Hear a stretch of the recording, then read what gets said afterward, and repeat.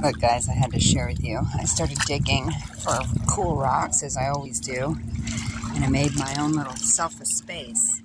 And that cool looking rock was right in the center. so I've been building. Cool, huh? Yes, it withstands the boat. Here, I gotta show you guys though. They look a lot cooler when they're wet ones I found anyway. Let's see if I can get them wet. There we go. see how cool they are? Some of them look like they're Native American pieces. I've collected a few out of Salt River already. Like this one kind of reminds me of a piece that I have at home already. A little smaller, of course. But they used it for cutting.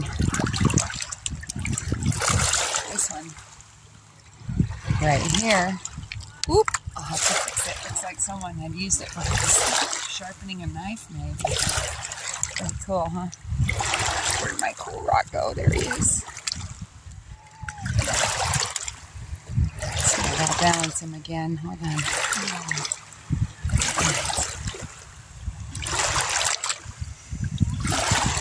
Welcome to my little sanctuary. I'm going to be sitting here tonight, right in the circle, enjoying the sunset here soon. Stay tuned.